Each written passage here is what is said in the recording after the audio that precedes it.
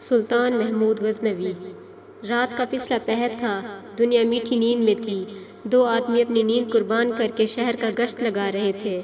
ऐसे में उन्हें चौक में कोई खड़ा नज़र आया। वो सरकारी लैंप के नीचे खड़ा था। ये उसके नज़दीक पहुँचे तो मालूम हुआ वो दस बारह साल का एक लड़का है। उन्होंने देखा वो अपना सबक याद कर रहा था। उनमें से एक ने कहा, क्या तुम दिन के वक्त मदरसे में नहीं पढ़ते कि रात के वक्त यहाँ खड़े सबक याद कर रहे हो?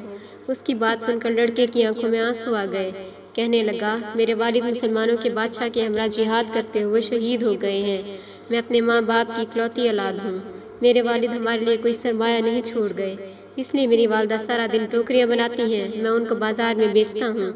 इसलिए दिन में मेरे पास पढ़ने का वक्त नहीं होता। मैं रोज़ाना सुबह सवेरे फजर की नमाज़ के बाद मोहल्ले के कारी साहब से सबक लेता हूँ। रात को याद करके सुबह उन्हें सुना देता हूँ। मेरा और बादशाह का फैसला तो अल्लाह की अदालत में होगा। मैं वहाँ बादशाह का गिरबान पकड़ कर अर्ज़ करूँगा।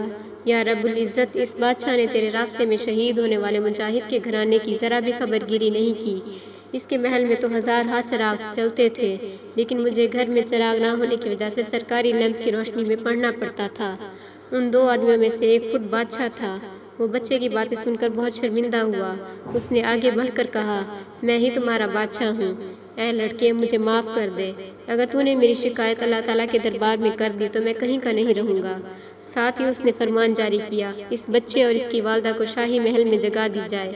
उसे शहजादों के साथ तालीम हासिल करने के लिए मकतब भेजा जाए। दुनिया इस बादशाह को सुल्तान महमूद गजनवी के नाम से जानती है।